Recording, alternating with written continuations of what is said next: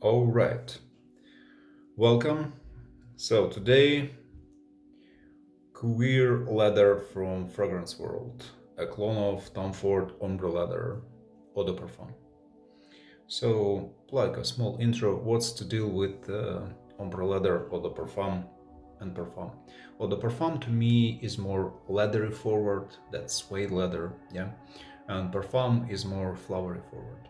They're still very, very similar, keeping the same DNA, but if you just uh, let it sit on your skin for a while, you notice the difference, especially when you smell them side by side. I mean the Tom Fords. So,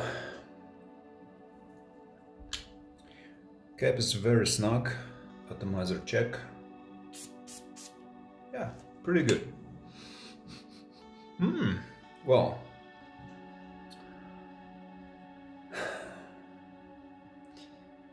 I mean, yeah, so, yeah, definitely in the air you can say a clone of Ombre Leather.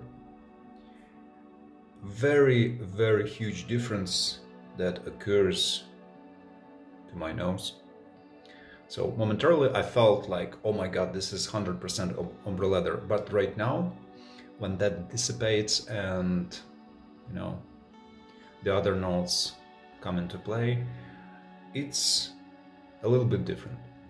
Oh, what do I mean by that? That leather comes across way more sharper than in Tom Fords. In Tom Fords it's more smoother, more refined. Here, kinda, how to describe?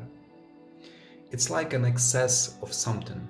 You know, there is leather, but it's like a little bit, how do you say it, abrasive, yeah, a bit sharp sharper than in original.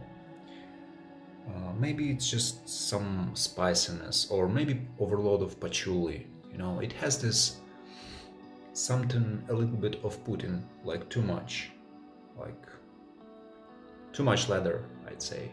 That not a skanky leather, but mm, my English needs improvement. Uh, yes. Uh, well, but anyways, yeah. Clone is good, keeping the same DNA, but yeah, this leather thing is just... I don't know, if you maybe put a two sprays on you, yeah, spray two sprays on you, yeah, that will be enough, but more, it's like way sharper. So of the tester strip, smells very good, but of, of my skin,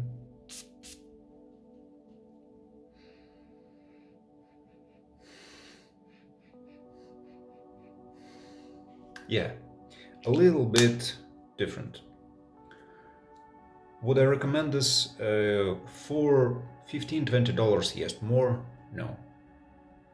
About the scent itself, um, I haven't smelled the other clones of Ombre Leather, which is uh, Amber Leather from Maison Alhambra and Afnan's Rare Carbon. So yeah, I'm looking forward to those. This one, yeah, it's somewhere in the middle. It's not a perfect clone, but yeah, it's I think 6 out of 10. That's it guys.